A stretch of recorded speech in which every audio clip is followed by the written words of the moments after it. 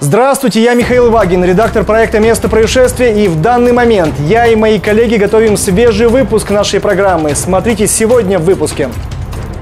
Скрывался на съемной квартире. Фамилия, имя, отчество.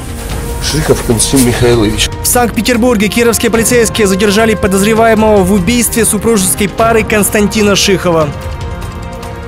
Таксист, художник, Вы от, руки- нарисовали или на принтере распечатали? А? От руки нарисовали. Водитель Лады Калина потерял госномер, но отчаиваться не стал, нарисовал новый. Объезжал яму.